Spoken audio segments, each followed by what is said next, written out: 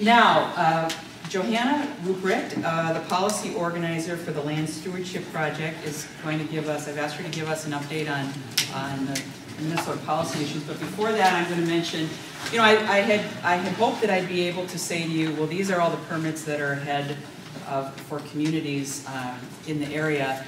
And as I started to look those things up, I realized that would be impossible to collect all that information together and to have it be current.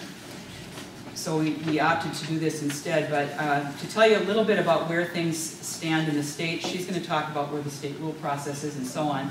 But I want to let you know, if you're not familiar with it already, I've got a copy in the room of the guidelines that the Minnesota Environmental Quality Board put together that for Minnesota communities that are facing um, issues of industrial silica sand mining. And uh, talk with me about that if, it, if you're interested in knowing more. So with that, Johanna?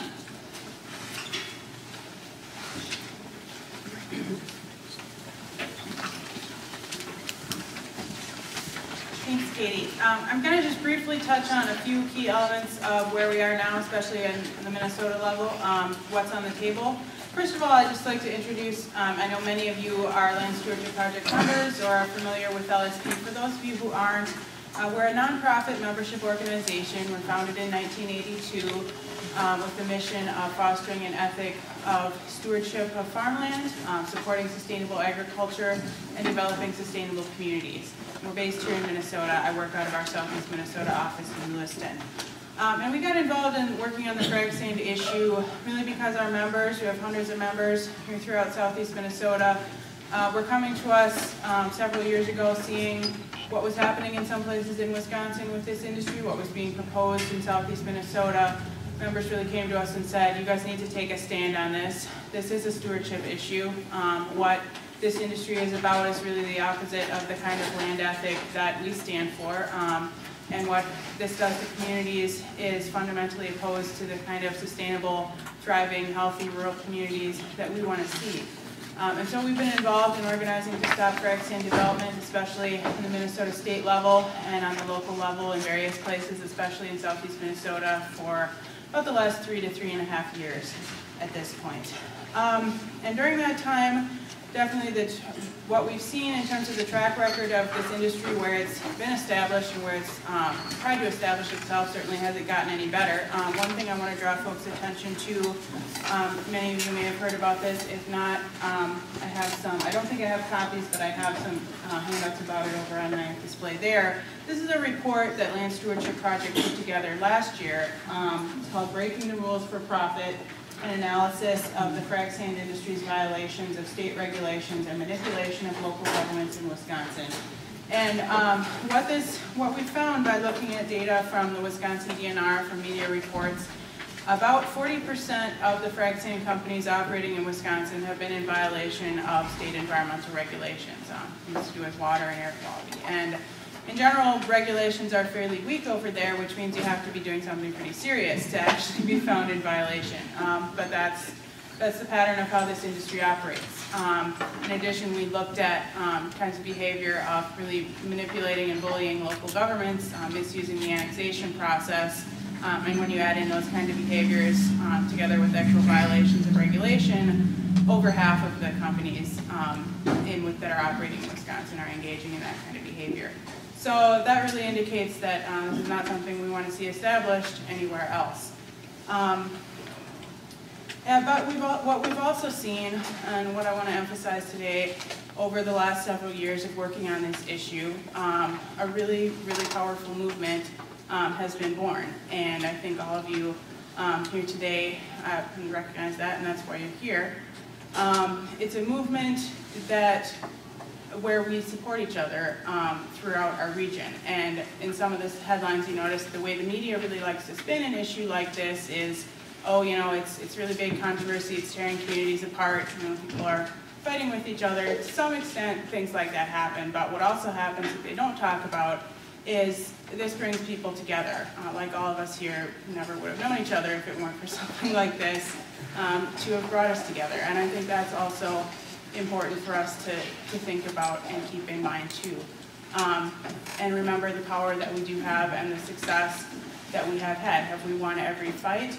Um, certainly not, but we're still going. We're gonna be in it for the long haul, um, for a long time to come.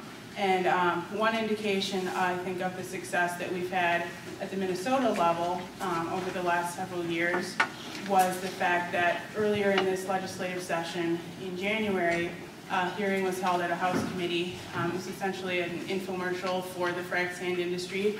They were industry representatives and lobbyists were invited to testify, and citizens weren't. Um, apparently they thought that everybody who was up there over and over by the busload two years ago had just gone away and forgotten about this. Of course, we didn't. Um, and we made a big enough uproar at that time, basically forced our way in and uh, made citizens' voices be heard, that after that point, this issue was not touched at the legislature. We didn't lose any of the ground that we had won. Um, do we need more protections? Yes, we do, but this is a session when there's been a lot of bad ideas floating around at the legislature on environmental issues, um, a lot of things coming under attack, but we made a big enough uproar that they knew, okay, we better not touch any of that frac sand stuff um, because we're going to get into trouble.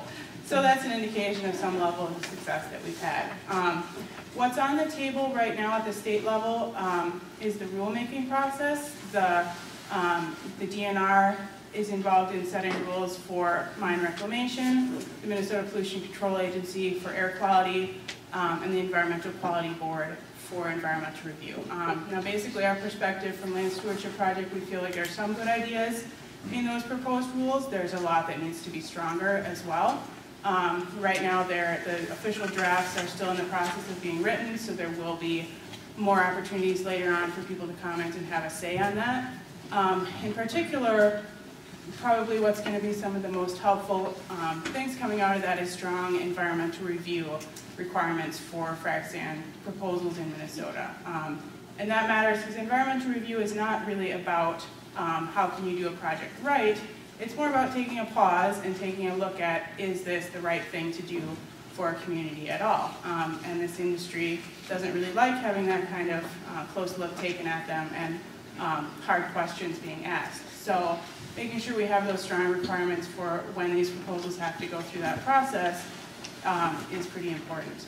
Um, and I just wanted to mention one major proposal that many of you are familiar with that is still on the table for Southeast Minnesota. We've successfully held off so far, but, but it has come back up again, is a company known as Minnesota Sands.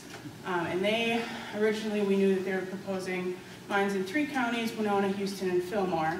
Um, they, because of citizen organizing, uh, made sure that environmental review law was enforced, although they were trying their best to evade it made sure that they could not apply for any permits for that proposal until they went through an in-depth environmental impact statement.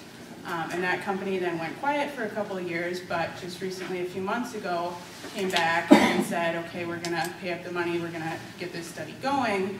Um, it's been a little bit quiet since then. There's no new information submitted, but what we know now is that they're looking at mining, processing, and transportation in Winona, Fillmore, Olmsted, um, Goodhue, potentially Wabasha counties, um, and I don't think we should consider Houston County out of the woods um, for, as far as their interest either. So that's something that really would represent a much bigger foothold for this frac sand industry in southeast Minnesota than anything they have so far. Um, so that's something that's a major goal of ours is to not see that happen. And I think that's because it would affect such a huge uh, swath of the region, I think that's something that a lot of us can um, be united around. Um, and so that's something that we're going to be tracking very closely um, and making sure people know as soon as there's any um, movement on that, what people can do. And I have some, uh, some folks at other events I've been at may have done this already, but we have some comment cards available if people want to take a chance to have a say now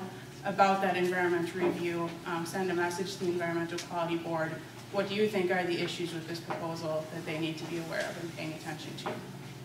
Um, and then just finally, I wanted to mention there is a lot of local work ongoing, um, which many of you know about because you're the folks doing it at the county, the city, the township level, um, all over the region, and there's been a lot of success on that that we want to hold up, um, especially in some cases at the township level, people successfully banning or keeping out the frac sand industry there. Um, we've been working with other folks to make that happen in other places. Um, at the county level, you know, we've won some useful measures, um, and people, I would say just about everywhere, are still working for more.